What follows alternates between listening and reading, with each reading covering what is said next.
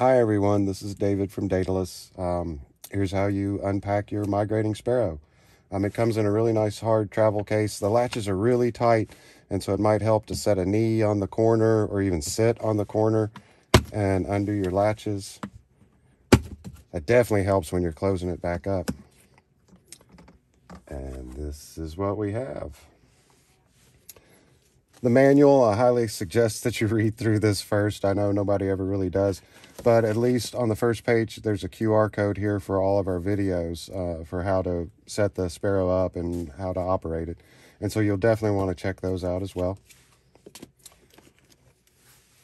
The journal. So this is where you'll kind of keep a little record of some of the spins that you do and uh, be able to post some pictures in And this is what we have. We'll start out in the upper right hand corner here. Uh, this is the fiber that comes with the wheel.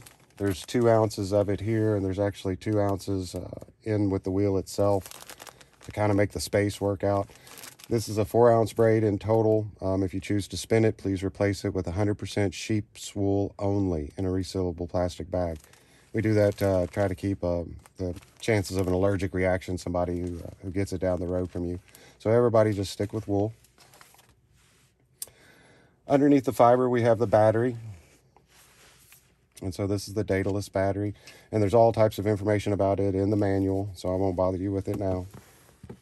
Underneath the battery is the Bluetooth Canon Ivy printer.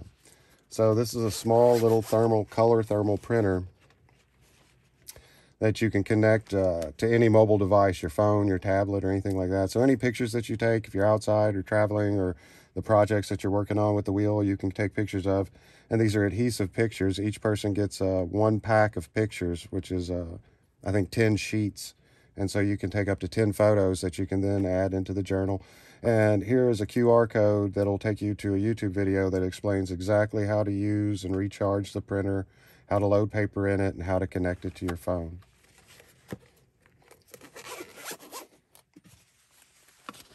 Bottom right corner, we've got the electrical stuff. And so first and foremost, this is the AC power adapter that, uh, that runs the wheel itself. So off your wall. The bigger brick here is your battery charger. So this plugs into the side of the battery in order to charge it. The very bottom, we have some cables.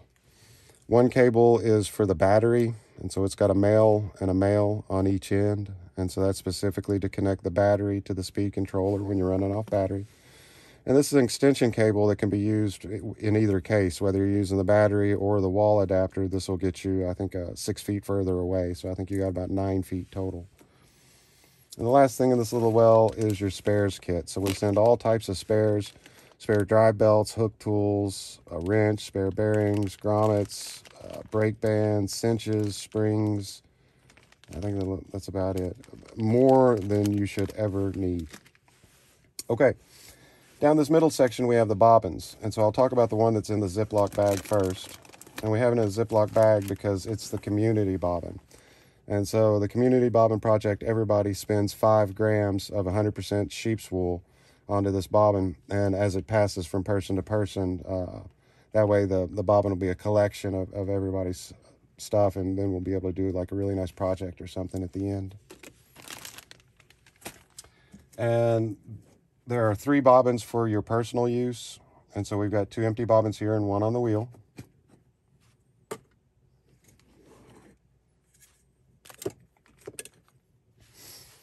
In this corner, we have the speed controller. It just kind of slides in here. And then the back corner, save the best for last, the wheel itself. Um, you'll notice the flyer is sideways with the fiber inside of it. And uh, if for some reason, when you're packing it back up, you would definitely want the flyer to be level.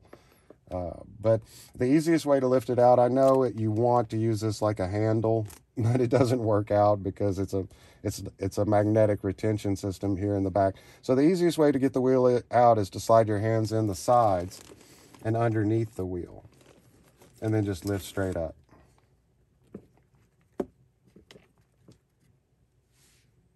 There we go. And so we're all unpacked. Uh, we can slide the other two ounces of fiber out, read our manual, hook up our wall adapter, check the alignments of the belts and the, the drive belt and the tension belt, and get to spinning.